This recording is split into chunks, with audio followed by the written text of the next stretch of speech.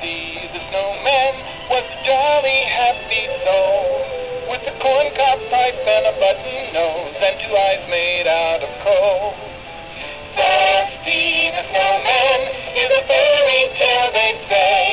He was made of snow, but the children know how he came to life one day.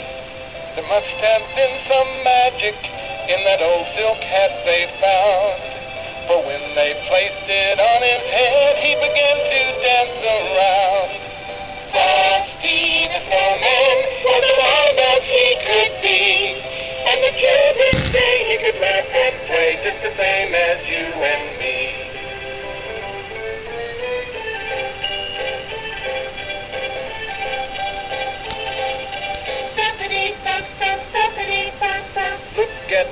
Mississippi go.